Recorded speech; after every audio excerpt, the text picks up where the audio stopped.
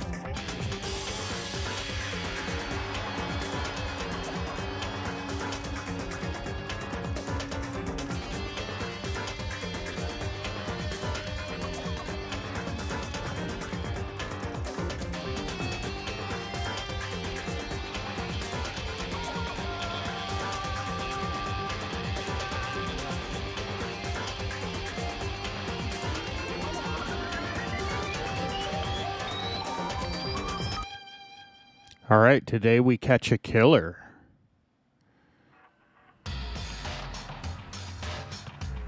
Then who's the real killer? Who murdered Chihiro? There's one thing we can be sure that we know about the killer. The killer was able to gain access to the real murder scene, which means since the crime scene was in the boys' locker room, you would need a boys' e handbook. Since Leon's is apparently broken, the killer would have had to use their own. In other words, it had to been a guy. But that's still not enough. I need to figure out some more clues.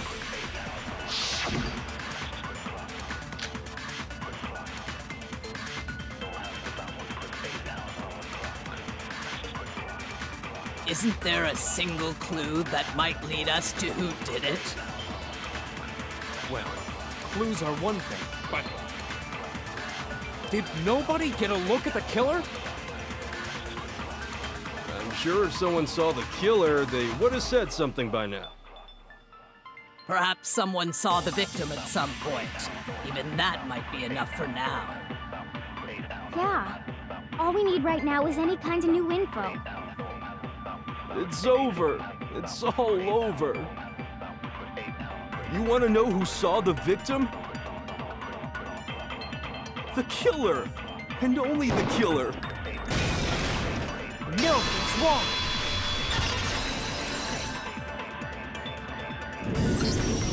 I believe someone else did see the victim before he was murdered.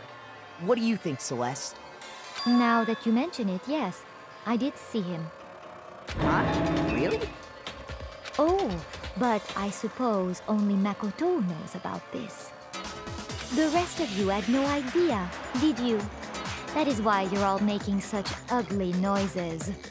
Whatever! Just hurry up and tell us! It was last night, right before nighttime. I saw Chihiro in the dormitory warehouse. I saw him stuffing a track jacket into a duffel bag. And then, I assume, he headed off to exercise. A track jacket and a duffel bag? But we didn't find anything like that at the murder scene. It seems likely that the culprit destroyed them to get rid of any evidence. And that is when he said something that struck me as rather odd.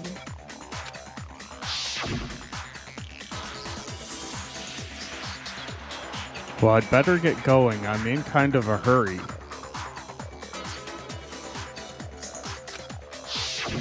Chihiro told me he was in a hurry. But why would he be in a hurry? Only if someone were waiting for him, I should think. So, Mr. Fujisaki was on his way to meet with someone, and then they were going to work out together? But Hina and I had invited him to exercise with us plenty of times, and he always declined. Probably because he was afraid you'd find out the secret he was hiding, right? Which means that conversely, he must have trusted whoever he was meeting with very much. Enough so that he was willing to risk his secret being revealed. what a marvelous friendship! The point is, whoever he met up with is the culprit, right? So we just gotta figure out who it was. But knowing what we know, I can't even guess. No. You already have what you need to make the connection. Huh? You know who the killer is. Seriously? Who is it? Who's the killer? Think back to the track jacket and duffel bag the killer disposed of. Focus on the details of these items, and it should become obvious who was waiting for him.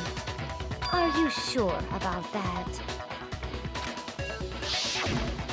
You really think we can figure out who did it based on two pieces of evidence that we don't have? Why? You want to track down some fingerprints or something? Even if we had the equipment for that, we wouldn't know how to use it. As was noted, the evidence is already gone. There's nothing to get fingerprints from. Maybe, but we can make certain inferences if we just take the time to talk it out. Easy for you to say. But fine. Celeste, did you notice anything special about the bag or jacket? The bag was just a normal duffel bag from the warehouse. All the bags in there are the same, so I can't imagine what would make that one special. Well, if I remember right, there was a decent variety of tracksuits to choose from. Do you think there might be some connection between the culprit and Chihiro's jacket? Perhaps. Let's explore that and talk a bit more about the jacket he took. Does Chihiro's track jacket really hold some clue? Somehow it's really hard to believe.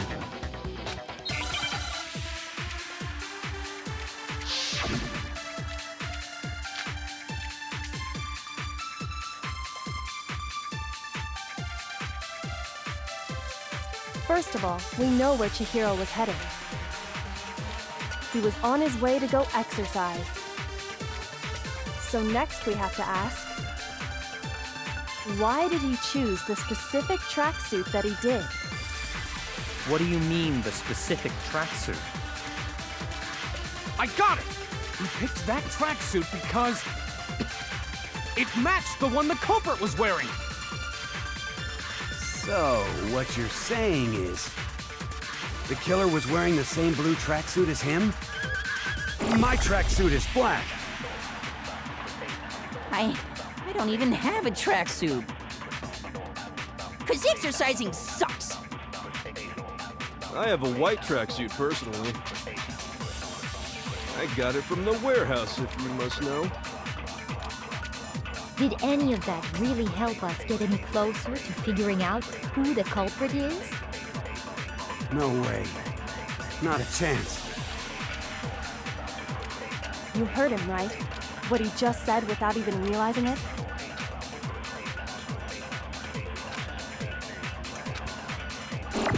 First of all, we know where Chihiro was headed. He was on his way to go exercise.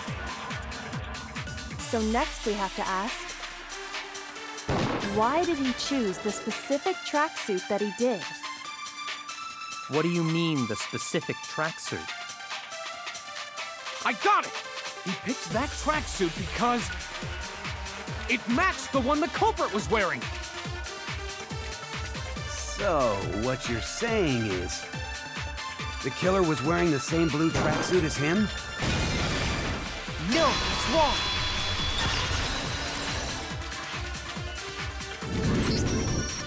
Hold on a second, Mondo. What did you just say? Huh? What'd I say? When Celeste testified a few minutes ago, she said... I saw him stuffing a track jacket into a duffel bag. And then I assumed he headed off to exercise. She never said anything about the jacket's color. So why did you say Chihiro's blue tracksuit? What are you... You you just...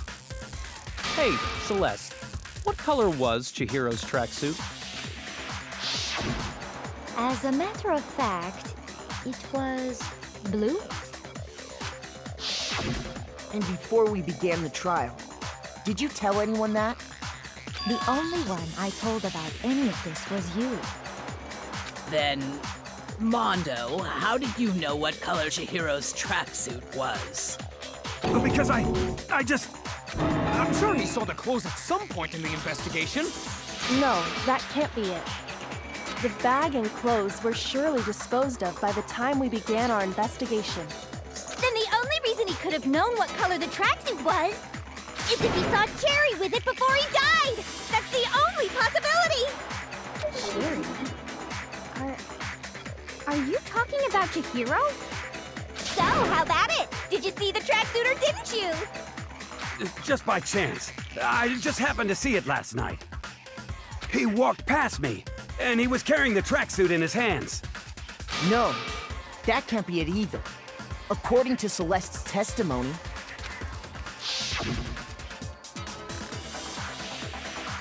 She stuffed the jacket into her bag in a hurry. It was almost like she was trying to hide it. And just like that, she was gone.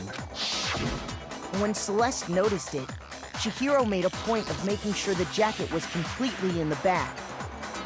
If you just ran into him briefly, you couldn't possibly have seen what color the tracksuit was. Yeah. It would appear you've dug your own grave. Perhaps.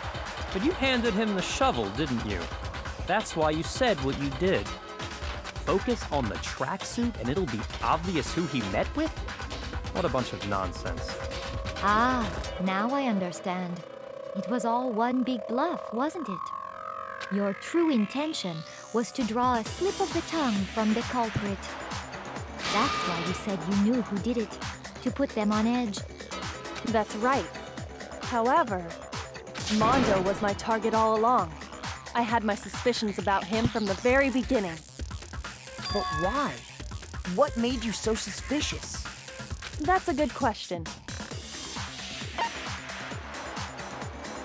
The way he talked? There was a certain turning point that tipped me off. Maybe you didn't notice it, Mondo, but you tend to refer to men and women differently.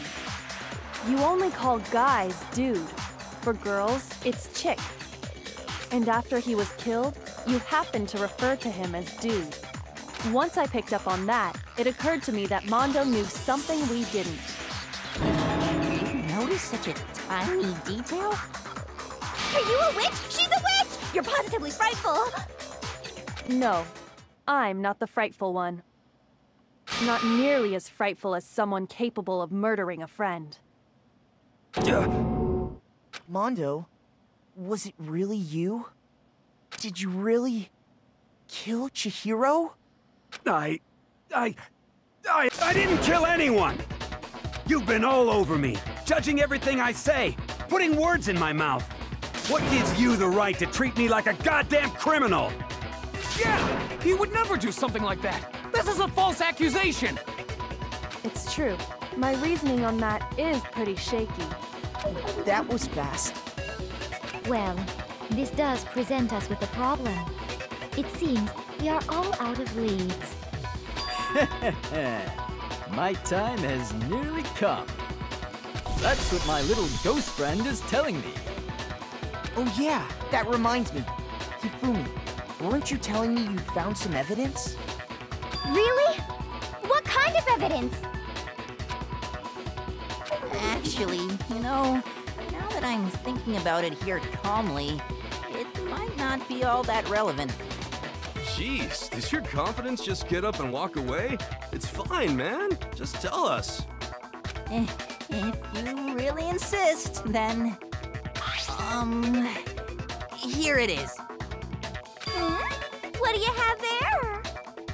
It happens to be an e-handbook. I found it laying on the ground, so I scooped it up. You found it on the ground, right? Then it must belong to My God! Chihiro. We know Chihiro's handbook was missing from the scene of the crime, right? For a fact. For a fact indeed. I was totally sure I'd found it. Then it must hold some clue about the culprit, right? Well, that's what I was hoping. But it's busted. It won't even turn on. I imagine the culprit broke it to get rid of any evidence after the murder. That's odd. I didn't think the handbooks were quite so fragile. You're right. They're not. They're totally waterproof and shock resistant. It would take an awful lot to break one. And yet, this one does appear to be broken, as is Leon's, sitting useless in the main hall. For all your confidence, that is a remarkably high failure rate. Do you think there might be some kind of mystery in there somewhere? How precisely did the handbooks get broken? How did they break? There's only one possible explanation. Oh God! You already told us before that the handbook has one weak point, didn't you? Yeah! You remember that? Uh, uh, sure, maybe I let that slip, but I never told anyone what the weak point actually was. But if the handbook is supposed to never break, and two of them broke in quick succession, then Then we can only assume that someone's figured out its weakness.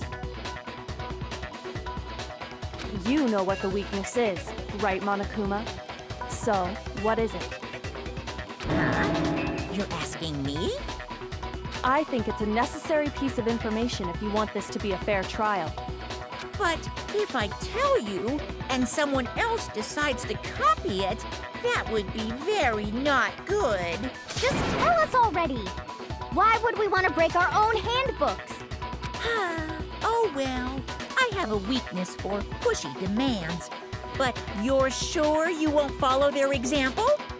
Then allow me to make a special announcement. The weak point of my cutting edge e handbook is. When it's exposed to high temperatures for too long, it will suffer a meltdown and totally break! I flippin' knew it! You knew it? Yeah, because I found the handbook laying on the floor of the sauna. The temperature in the sauna can reach over 200 degrees. Strange how you don't get burnt, huh? It's because as your sweat evaporates, it creates a cooling layer of air around your skin. If the hot air of the sauna were somehow pushed directly onto your skin, you'd definitely get fried. That layer of air would get blown away. That's why you may feel a burning when you move around. So when you're in a sauna, make sure to keep nice and still. Interesting. I learned one new fact today. That is a mere trifling speck of knowledge. Anyway, if you found the victim's handbook in the sauna, then the killer must have been purposely trying to raise its temperature in order to break it. meaning the culprit somehow knew its weakness. But how'd they find out? Monokuma said he didn't tell anyone, right? Indeed. Quite the mystery. What if they found out by accident? What do you mean by accident? What if the killer took their own handbook into the sauna, not knowing its weakness, and it broke? They'd realize it was broken, of course, and it wouldn't be hard to figure out why. And once they had Chihiro's handbook, they knew they had an easy way to dispose of it. I won't say it's not possible, but who would have done something like that? I don't know of anyone who took their handbook into the sauna. I might know someone who did. Whoa! Seriously? I think the one who may have taken their handbook into the sauna was.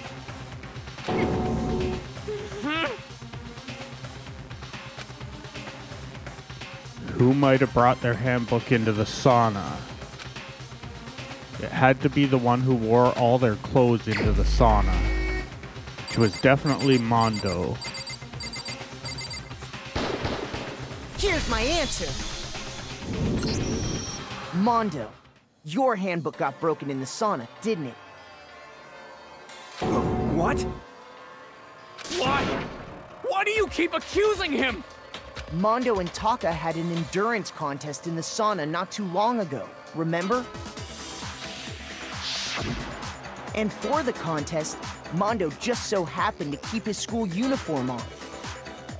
But little did he realize, he'd also left his handbook in one of his uniform pockets.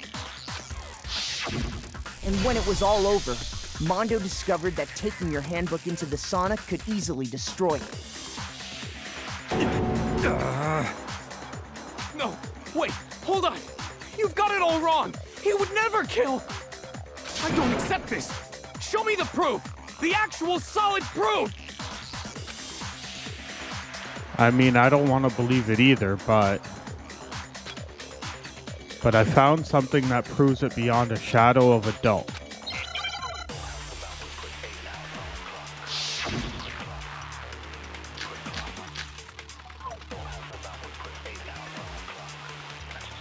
Would have been the broken e handbook in the lobby, I'm guessing. Let's test Makoto's assertion. If what he says is correct, then Mondo, you broke your own handbook. In other words, if Mondo's handbook is actually broken, then that proves that what Makoto said is right. Well, my goddamn handbook works just fine. No, it's wrong.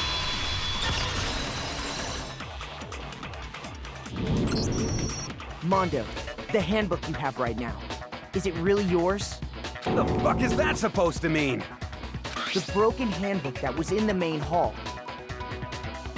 Isn't that one actually yours? What the heck are you talking about?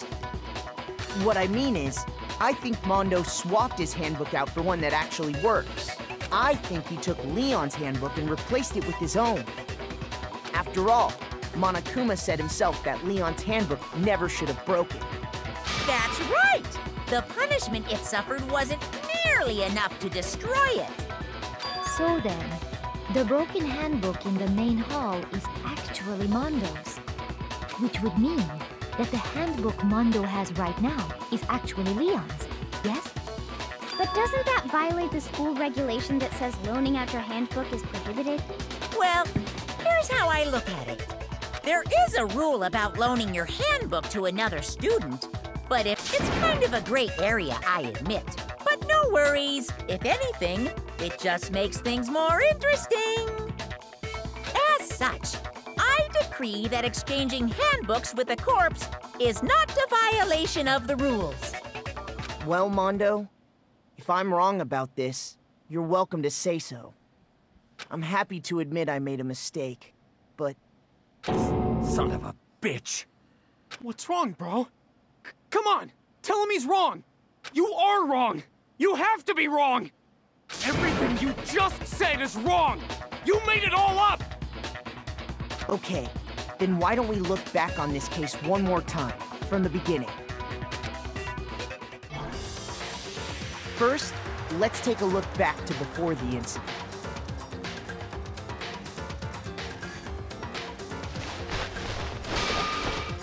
Last night, Celeste saw Chihiro in the warehouse, correct?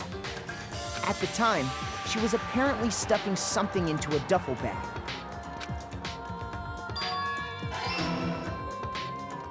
That something was a blue tracksuit. You can confirm this, right, Celeste?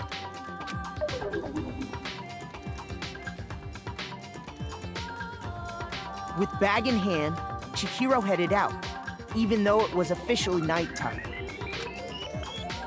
She made her way to the locker room, specifically the boys' locker room. But how could the victim, who was apparently a girl, access the boys' locker room?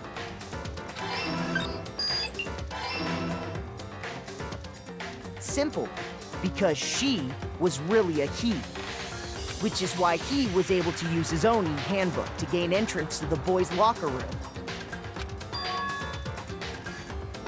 Once inside, he met with someone there.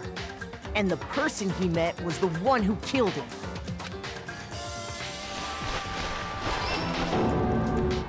It seems likely that the killer grabbed the nearby dumbbell, approached the unsuspecting Chihiro,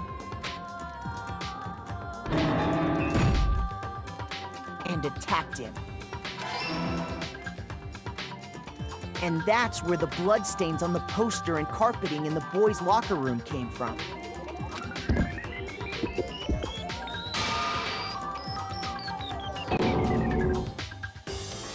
It was likely in the heat of the moment. The body was arranged, but the murder itself felt unplanned.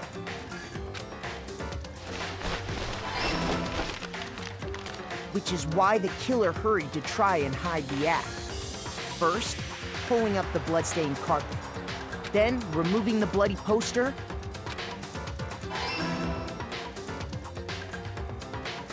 And finally carrying the corpse into the girls' locker room. A girl's handbook was necessary to get into the locker room, of course. But this alone doesn't prove that the killer was necessarily a girl. After all, Sayaka and Junko's handbooks had been placed in the main hall. Using one of those, a boy could get into the girls' locker room without much problem. And that's exactly how the killer did it. With the carpet and the poster they brought with them, they got to work. They changed the layout of the boys' and girls' locker room in what you might call a crime scene switch.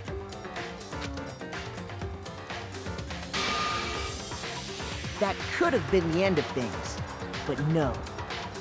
Byakuya discovered the body and decided to intervene in the situation, making things even more complicated.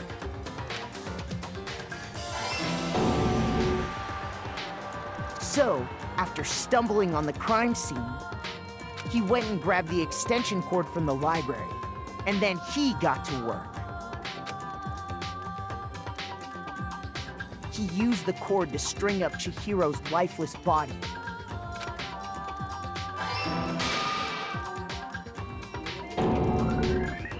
Then, using the victim's own blood, he left a grisly message there at the scene of the crime. He wanted to create the illusion that Genocide Jack was responsible for the slaughter.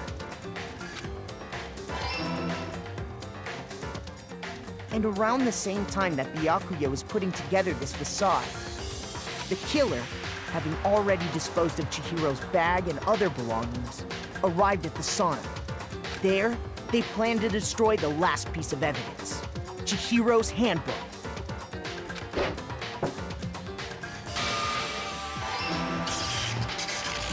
Just as the killer expected, the steamy sauna was enough to ruin the electronic gadget. Somehow, the killer knew that the handbook couldn't stand up to the heat of the sauna. And the reason they knew that is because the sauna had already wrecked their own handbook. And that's how it all played out.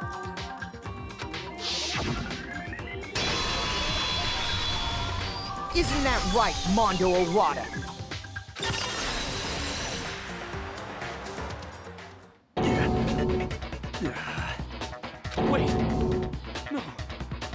Can't be right. Where's your evidence? Yeah, where's your evidence? You need evidence! You need proof! Without any proof, you can't pin any of this on him! Evidence that Mondo is the killer that already revealed itself earlier in the trial. If I can somehow show where Mondo's handbook is right now. Once I do that, everything will become clear. We're going to do that in the next episode, and we'll get to the sentencing next time. So I hope you'll come back and see what happens next in Danganronpa. Thanks for watching, and bye for now.